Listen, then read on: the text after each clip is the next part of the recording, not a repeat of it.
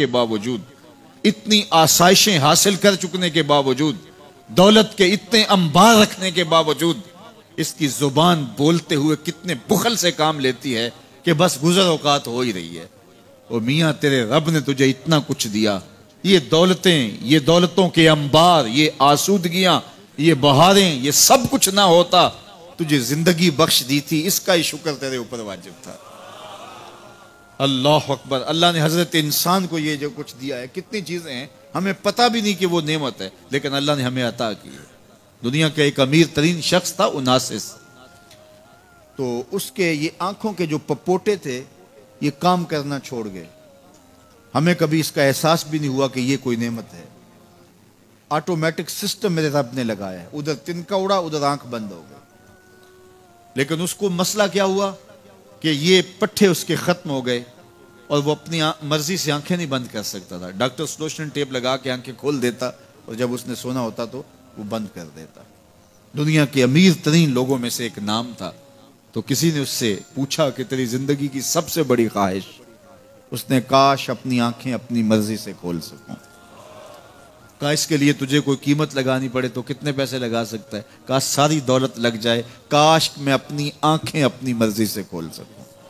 मुझे ये बताइए कि हज़रत इंसान को क्या कुछ नहीं अल्लाह ने दिया? ये लुआब है ना, लुआब हम रोज थूकते हैं। ये मिकदार से कुछ कम हो जाए तो बोलने में दिक्कत, निज़ाम निज़ाम खराब। ये जो लुआब हमारे मुँह में आता है, जो हम थूक देते हैं, ये कुदरती गरीस है, जो बोलने में मदद देती है। निज़ाम निज़ाम को ठीक रखती है। और अगर ये लुआब कम हो जाए मकदार से तो नज्म खराब हो जाए। अल्लाह अकबर। तो हमने कभी सोचा कि ये भी नेमते हैं बाकी रोशन आँखें चमकता चेहरा और जोरावर हाथ चौड़ी छाती धड़कता दिल और कहते हैं इस, इस दिमाग का अगर कंप्यूटर तैयार किया जाए तो न्यूयॉर्क शहर से बड़ा एक बकरियाँ चलाने वाले शख्स के दिमाग का कंप्यूटर बने।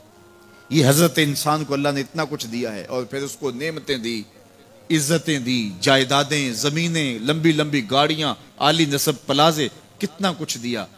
फिर खूबसूरत औलादें दी। क्या तस्कीन कल्ब के लिए रखा उसने।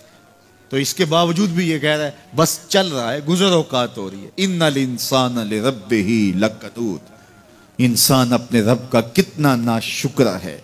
उसने क्या कुछ इसे अता किया, क्या कुछ अता किया।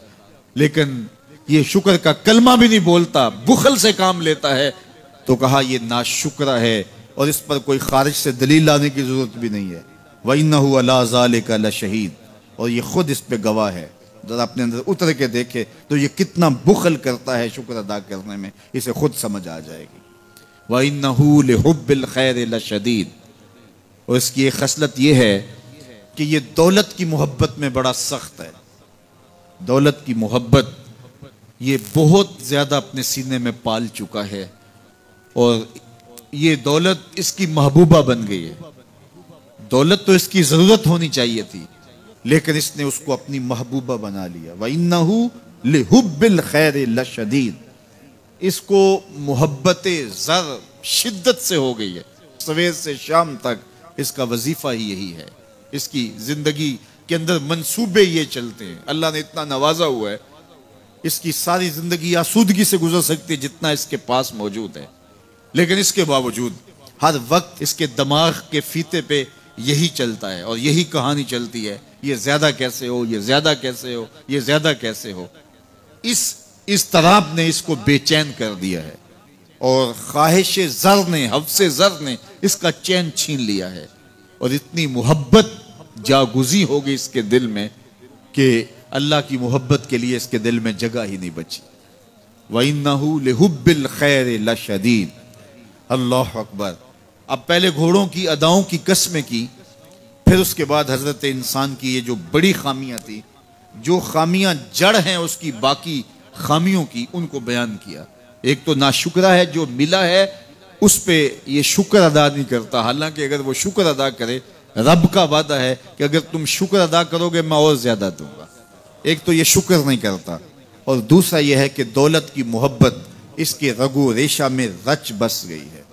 बल्कि अल्लाह ताला ने उन बदनसीब लोगों की कहानी बयान करते हुए कहा, जो दौलत को मकसूद ही बना बैठे। अल्लाजी जमा मालम व अद्दद।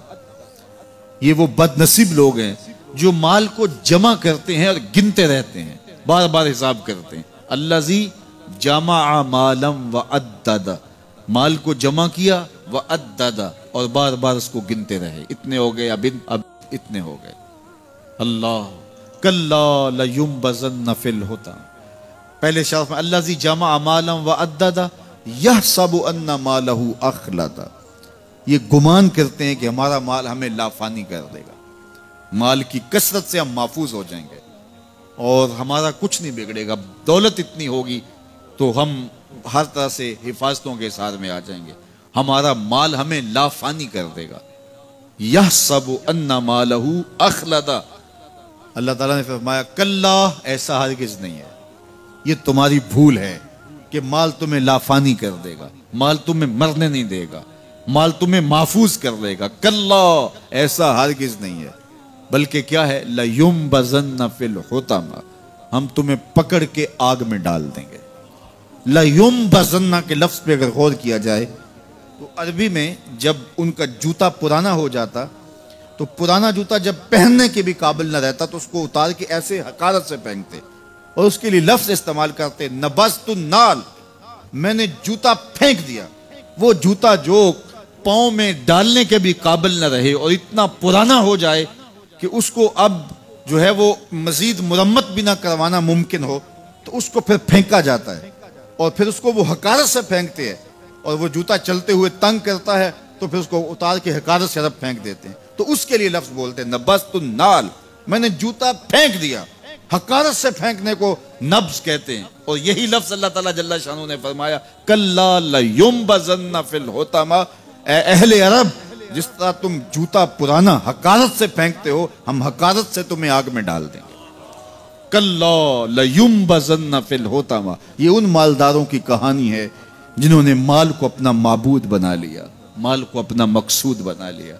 माल माल माल, हर कदर पामाल कर दी। हर कदर की कुर्बानी दे दी माल के बदले, और माल ही उनका मकसूद बन गया। और ये समझे कि ये माल जो है वो उनको लाफानी कर देगा, उनको मरने नहीं देगा, उनके लिए हिफाजती हिसार बन जाएगा।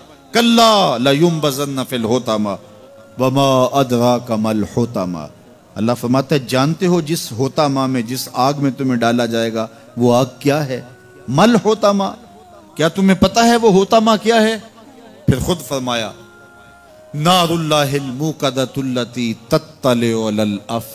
ये अल्लाह की जलाई हुई आग है जो दिल खा जाएगी, जो कलेजे चाट जाएगी।